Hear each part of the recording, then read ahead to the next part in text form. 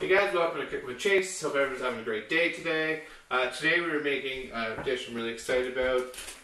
Uh, it's trout, the cauliflower puree, um, pan roasted potato, um, kind of like a little herb salad. Uh, it's Friday, so we're going fancy today. Um, so yeah, uh, grab a drink. Let's get cooking. Cheers, everyone. Back on the beer. It's Friday. Okay, so uh, today we are cooking some trout. Um, so first of all, I'm going to kind of go through what I'm looking for in fish and kind of how I process it and what I think about kind of how to cut it up very quickly. Um, we're going to be moving kind of quick today because it's, uh, I think, probably one of the more complicated dishes in terms of how many things we're doing. But that's okay because a lot of you have been following along for almost a month now, so our skills are on the rise. Uh, so this is Ontario farmed trout. Um, I am a huge fan of farmed trout.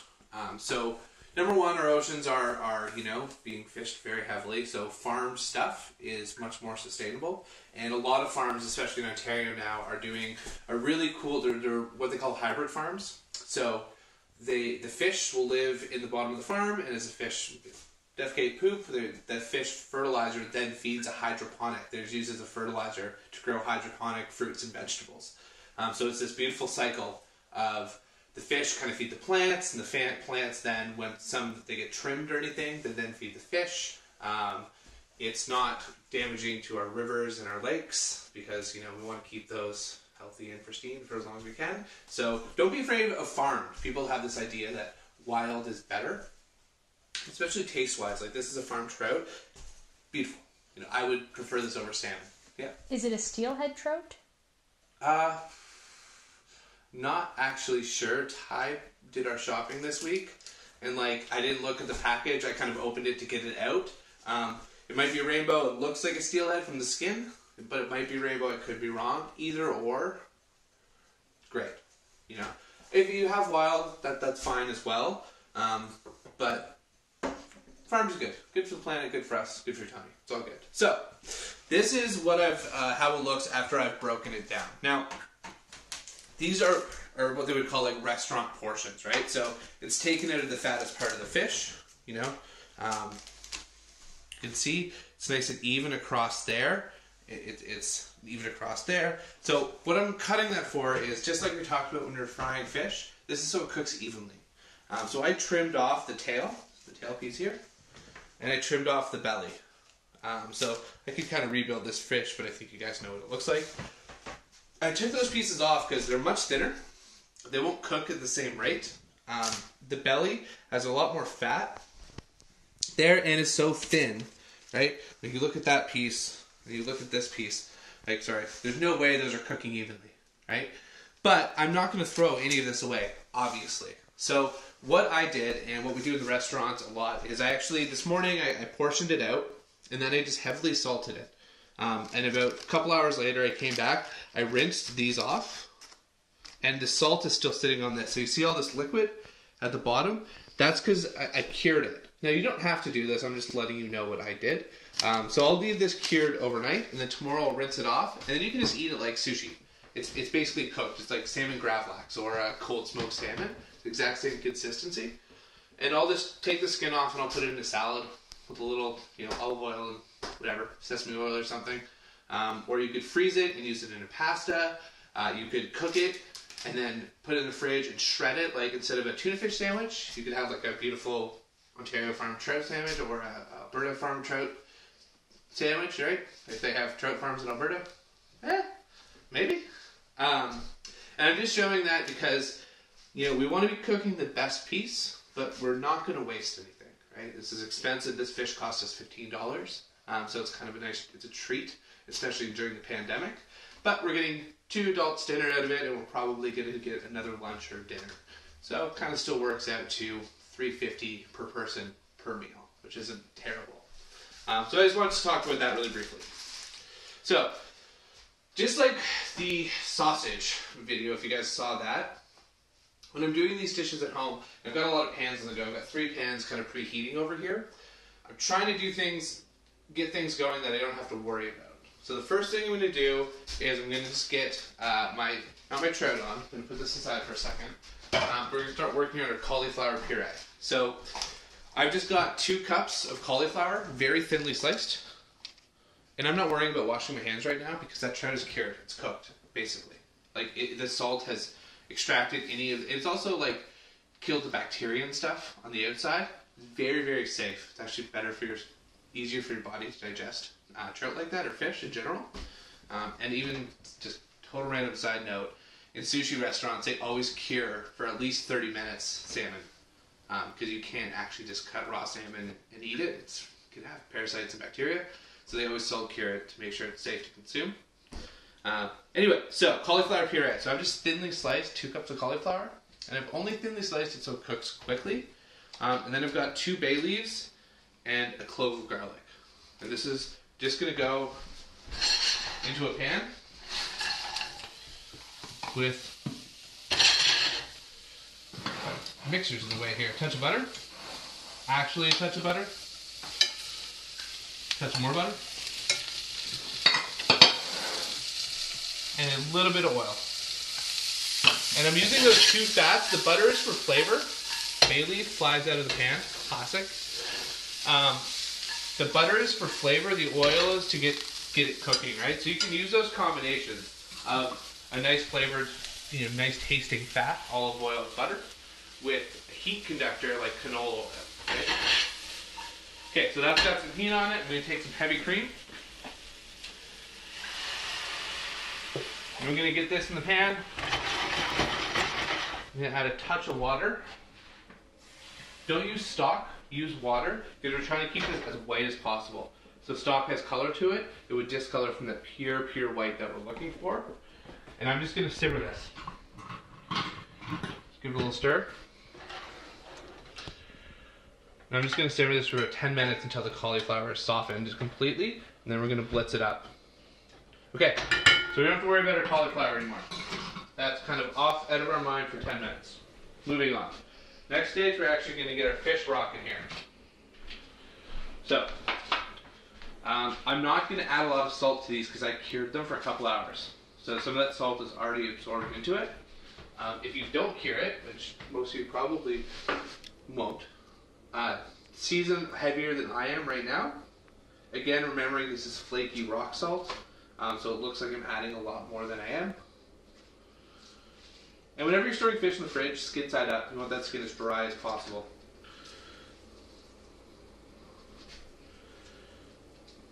Okay.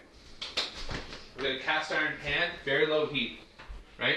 We're going to cook this completely on the skin side, just like we were cooking those chicken thighs. So I'm just getting this. That. You let your pans preheat for 15 minutes, I tell you, the handles get hot there. They get real hot. Okay, so I've got just enough oil to cover the bottom. I'm not looking pan fried, it's just to you know keep it from sticking, right? And see how gentle? It wasn't this very very soft, right? Because we don't want the skin to burn um, before the fish cooks, right? Can you talk again briefly about rinsing the cured salt off? Yeah, so I can actually do a piece right now. So this belly, because it's the thinnest, is probably already cured. So the salt has made all this liquid on the bottom. That's just the salt melting in with the juice from the fish, right? So you're losing weight as the liquid's coming out of the fish. So all I'm doing at this point is coming under cold water, giving a rinse, and then just initially Take some paper towel, and uh, sorry, skin set down. Just lay it down. Then pop it back in the fridge until it's dry, and then you can cut it up and use it for whatever.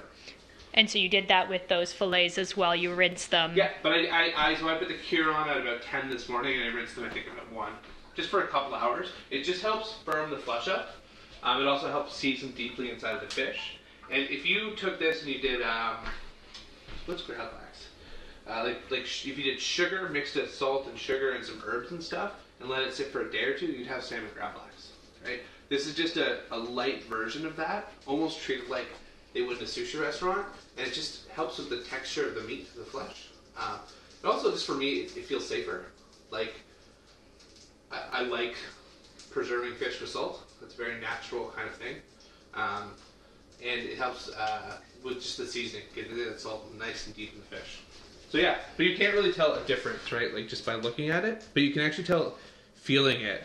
This kind of um, when you do it at home, you'll kind of feel it. This feels very smooth now. Okay, so guys, complex dish. We've got purees going. We've got pan roasted fish going. We've got all kinds of stuff working here, and really, we have half of it working, right? Which is fantastic. You know, our fish, we're gonna see it just like that chicken. And this is really what you want. Like, I'm just gonna not talk for a second. Perfect. So that gentle pop. That's how you know you're getting enough heat to cook it, but not enough heat to burn the skin. Same with this. Ooh, oh, almost lost it there. Same with our cauliflower puree. We're not looking for a reduction.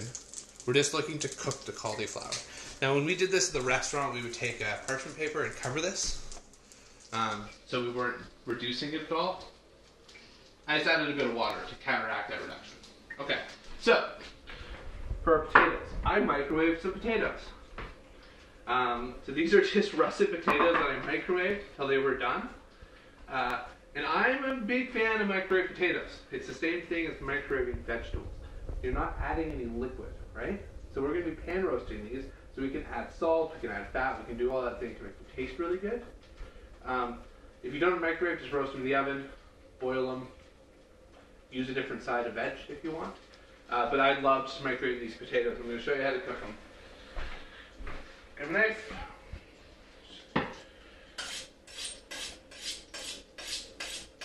Got to make sure it's kind of sharp because I want a really nice flat surface. You're kind of looking at this potato, and I'm, I'm, I want kind of some height to my plate, right? So I'm going to cut it down here. See why? The skin on these can be quite tough. There we go. And I'm looking for a very flat surface because I'm going to be searing those like that.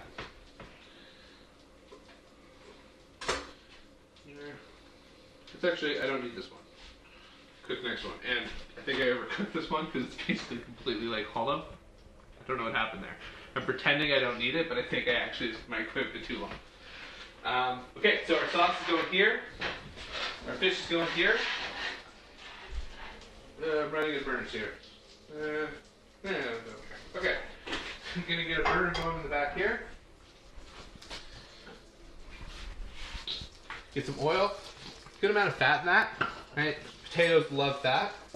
Try to keep slightly. So you can see that cooked fish is starting to creep up the side there, right? So I don't need to look at the skin. I have no no requirement to look at it because the fish is telling me when it's cooked. You know, I'm watch, just watch just like the chicken thighs. It's telling me when when it's uh, ready to flip. Um, we're also going to do a charred lemon with this, which looks beautiful on the plate. Um, it actually tastes kind of uh, add some sweetness to it. It's a really beautiful thing. Um, so it's just a whole lemon. I'm just cutting it in half. There's some potato on it because I didn't wipe my knife. Okay, so that was not nearly hot enough. I don't know why you thought that would be hot. I just turned that off. Um, yeah, well, while I let that heat up, um, we'll just kind of talk about this on the plate is going to look really, really beautiful, very refined, right? Like I said, we've got purees, we've got all kinds of stuff going on, but there wasn't a lot of ingredients, and I think that's something that, you know, I was really surprised at when I went into kind of fine dining or working in really nice restaurants. You know, the plates looked like these crazy things that I could never imagine making, but when I actually broke down what was on them, it's like the best dishes are kind of seven things, right? It's just cooking them in an interesting way, really treating what you're cooking correctly, paying attention to all those little steps. Um, and that's what's going to kind of get you that that wow factor, right? So hopefully we've got enough heat in that now. I'm also going to season these. Some salt. There we go. We're just going to cook, so these potatoes are cooked, right? They're baked potatoes or microwave potatoes or whatever. Um, so we're just gonna cook these on one side and get a really, really heavy char on them. Right, so you kind of get that nice contrast and texture between soft, creamy baked potato and really, really charred, almost hash brown. And then just a lemon face down. We're just gonna kind of let that stuff go. Let it rock. So hopefully this is getting close. Not as much. You okay? Ty's, Ty's sacrificing her arms here, guys. Gonna splatter some oil. Turn that down just a. Maybe I should have started this puree before the video. Okay. Yeah, so I'm just going. If you taste the cream right now, it's hot, but it's starting to pull in that cauliflower taste. It tastes like the bay leaf, which we're going to pull out before we puree it. Starting to get that garlic in there. Um, I don't think I seasoned this at all, so I'm going to add a touch of salt. No pepper. You want to keep again. This is this is the base of our plate. And we're going to be plating this on these black plates. So I, I really want just for aesthetic that pure pure white contrasting with that black. That's kind of what I'm going for here. And hopefully we'll see it. Yeah. This.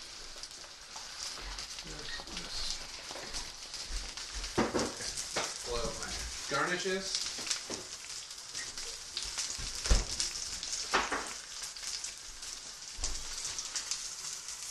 You can start to see that color, get on there. That's exactly what I'm looking for. I'm just gonna count, and the, the lemon's starting to char really nicely.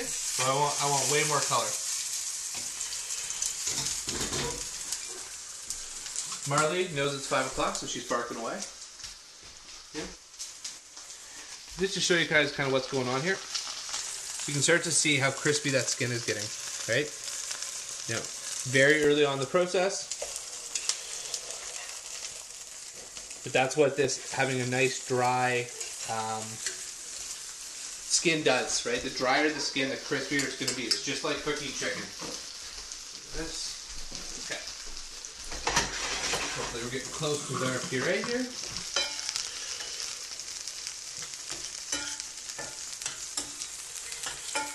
Yeah, so we've got our next five videos planned out. Um, but I always love hearing suggestions, guys. So if you have anything or you think about it over the weekend, um, shoot me a message on Instagram or comment on a YouTube video or anything like that. Um, yeah, we're gonna run out of ideas pretty soon here, so. No, not really. Okay, this is getting close. Another minute or two. It's so hard in these uh, when you're doing the show because it's like you run out of things to talk about. You just want to rush it. It's kind of like it's okay. Take a minute.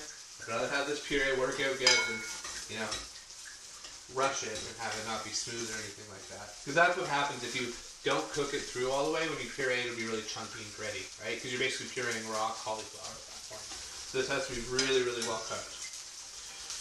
But you don't want to cook it too long because it starts to lose its color. So all I'm feeling for here is like just like no resistance when I'm pushing through, right? And I could have maybe cut it a little smaller to kind of rush it, but I also wanted to make sure you got good extraction from the bay leaf, stuff like that. It's always a balance. Lori says, "Have a drink. It's all good." And Dora says, "Sing for us."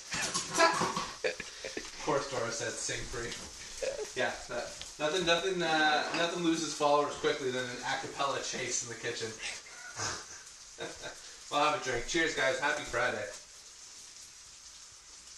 Laurel is doing uh, the fish and chips tonight for Ashlyn and Quinn, so I'm waiting to hear the results of that. I'm very excited. We I, I said this before, but we did uh, when we were camping with them. We did the fish and chips for the girls, and man, it's cooked for a lot of people in a lot of places, but nothing's more satisfying than cooking for your family something new and watching them just devour it. You know, like really, really enjoy something that you make for the people you like. It's it's been so hard. Just you know, I get to cook for Tyler, right? But it's been so hard just being home and not be able to cook for people because that's the thing that I do, right? But I think we're all all kind of in that boat.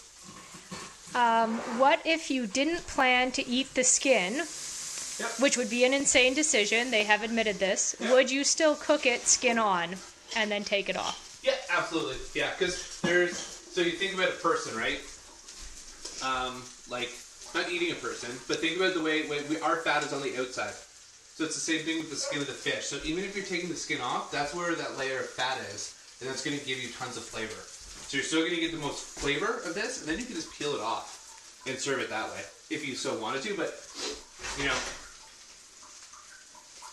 eat the skin. It's good for you. Okay, we are so close here, guys. I keep turning up the temperature higher than I should. Just to keep laughing at. it. Just checking our potatoes. Yeah, I'm going darker than that. I want because you got to think there's only um, you're only getting one little bit of, of the potato. Oh yeah, lemon's looking beautiful, right? I'm going darker. We're not afraid of color here. We're not afraid of caramelization. We got no fear.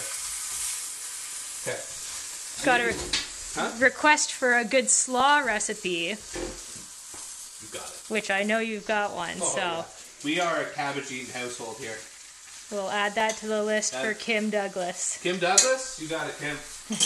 okay, this uh, this because I turned my heat up because I'm all like don't know what to talk about because I'm waiting for my food. I didn't time it out very well this week. Uh, I reduced my cream too much. I'm just gonna add test more cream because that's where we're at. All right. Just gonna bring this up. Hopefully, it will be done. Then we puree. Okay, so while that's kind of coming up, I'll show you off the garnishes for the other side.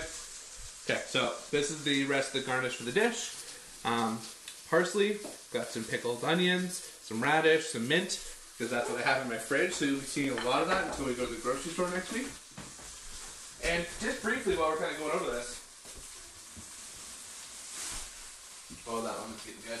You smell that caramelized lemon, delicious. Okay, so I talked about this for storing herbs. So we bought these herbs five days ago now.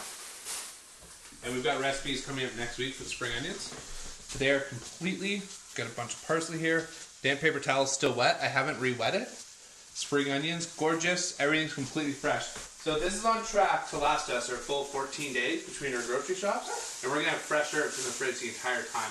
So I cannot recommend enough if you guys are, are you know, want to stay fresh and especially as it gets warmer and, you know, summertime comes. Um, unless you have a garden or a windowsill garden. This has been such a fantastic way to store herbs at home. And same thing with the parsley. This is cut. I picked this five days ago, and it's still perfect. Okay.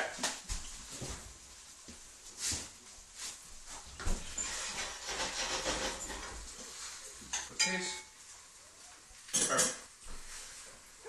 Awesome. So I'm just gonna pull the potatoes. They're done. I'm just gonna pull them off and leave them in the pan because the pan will keep them warm as everything else is cooking. Right? This cauliflower is ready to puree. Oh. Oh yeah. Yeah, absolutely. Okay. So just take the bay leaves out. Just discard them. Bay leaves are actually like to eat are not super good for us. They, we, we don't digest them super well. Spatula, because this is all cream and cauliflower. Waste not, want not. Get this into your blender, food processor, blender ideally.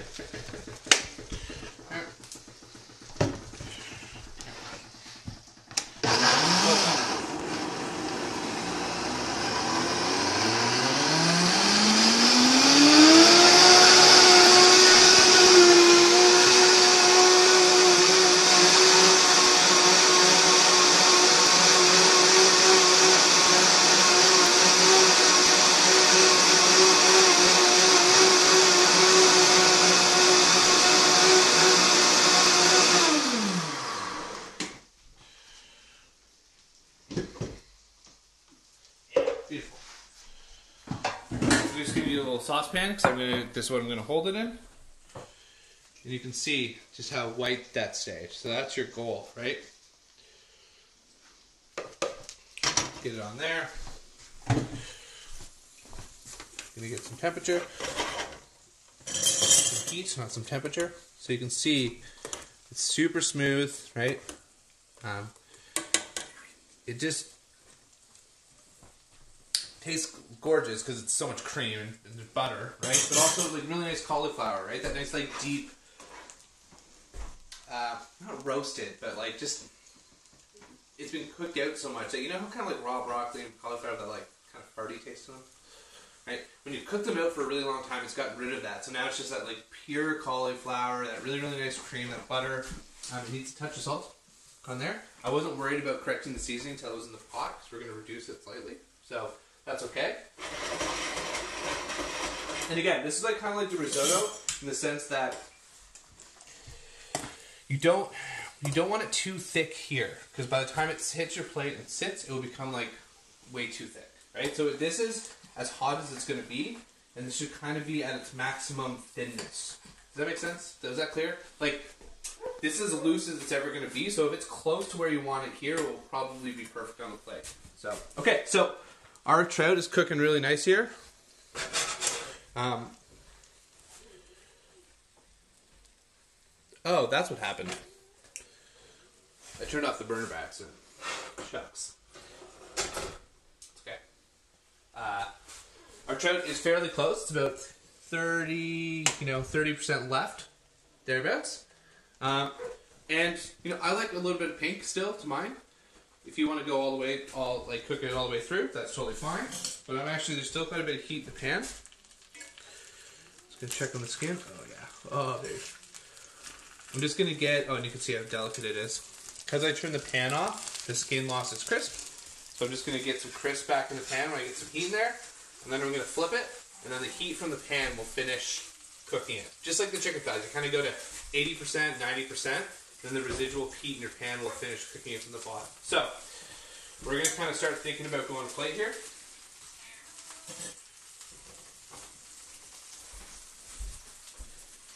Okay. See how dark those are? Beautiful. Beautiful. Okay. So, we're doing two portions tonight. It's me and Ty are having dinner. So I kept this lemon whole so it kept its shape. And now you're gonna cut it so you get this gorgeous contrast between that charred and that um, uh, uncharred side, right? That's get that really crisp line. You char everything and then slice it. And these guys, what I want to do, if this works, yeah, perfect, is I want to tear them. So what I'm looking for is to kind of mimic, see I'm mimicking that charred and that uncharred shape in the potatoes, right? But they've captured that really nice texture. So I'm just kind of pulling them aside in the middle, and you end up with these really cool kind of like raw potato, cooked potato shapes. I can hear my trout's getting really close. And this as well. We've opened something up. Just gonna season it slightly there with a bit of salt.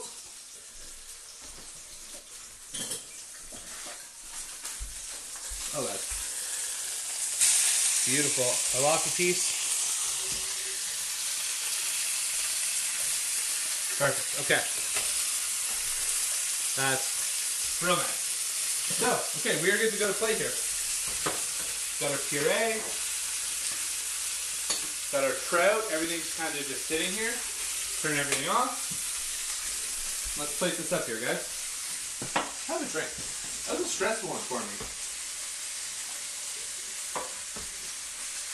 A lot of stuff going on. Okay. So, black plate. Got a puree here. Just give it a nice mix. Make sure everything's nice and smooth.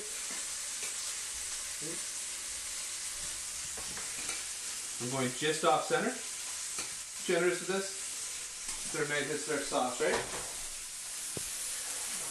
There.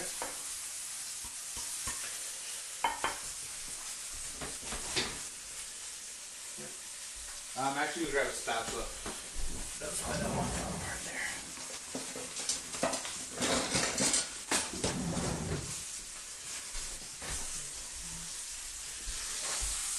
beautiful trout. Comes off to the side. Beauty. We start building this with our potatoes in our puree. Take our lemon. Toss it in there. How thick is the puree? Would it be holding a line on the spoon? Oh, I love you guys. Look at you. Thicker than your, uh, um, thicker than the uh, batter for fried fish. Okay. And then we've got some beautiful garniture. Ooh, delicious.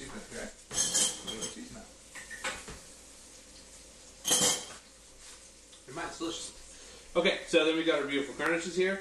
This is obviously for the plate that I'll do after for me. Tyler always gets the pretty one. Guys, it's Friday. I'm going tweezers here. Also, here we go. Here we go, Josh, if you're watching. I'm spraying my herbs with vinegar. So what they do in really fancy restaurants is they get spray bottles and they spray from really high with vinegar because they don't want to dress them because then the shape would diminish. It's all very boozy. So Ty's parents got us these spritzers for olive oil. Never thought they'd be using them for this. It was actually Mackenzie. Oh, Mackenzie. Hey, Mackenzie, if you're watching, thank you. Oh, God. Oh, God. Leipzig. We're to start building a little. So, what I'm kind of doing is kind of building a little salad here, right? It's a texture, you know, it's color, excited, you can tell. My tweezers. We're going tweezers here, guys. It's Friday.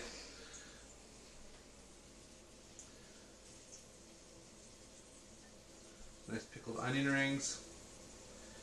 The pink just real nice on the plate.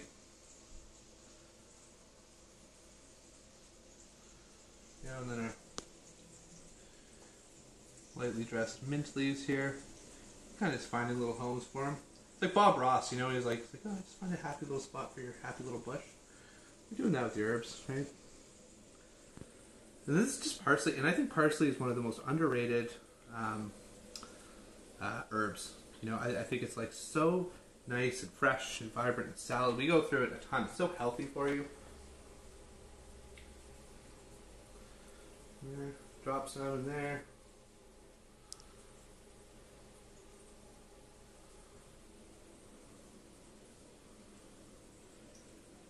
Okay, guys. That's about as far as I would go with that. I'm just gonna give my plate a little wipe. I know this was a bit of a longer video. Oh, still 32 minutes. Yeah, tell you, getting that half hour dialed in. Um, you know, be taking my time, kind of cleaning up a little bit better as I went along. Right there. Plate. Marley's still losing her mind. She must be hungry for her dinner too. I guess it's a pretty nice looking trout dish. So, just you know, to kind of go over this whole process again, right? That's what it would be played towards the person. This this puree can be squash, broccoli, cauliflower. It could be, um, you know, a really rich potato puree, right? Think about potato puree instead of a soup. Um, the trout all in the skin, so you're not thinking about it when you're cooking everything else, right? These potatoes, they were in the microwave. Right, so you microwave them, you sear them heavily on one side, you get this really beautiful, fancy hash brown, home fry, whatever you want to call it. You know, have some herbs in your fridge, throw them on top, and all of a sudden you got something that looks like a million bucks, and you know, really three fifty worth of protein thereabouts. Some potatoes, some cauliflower,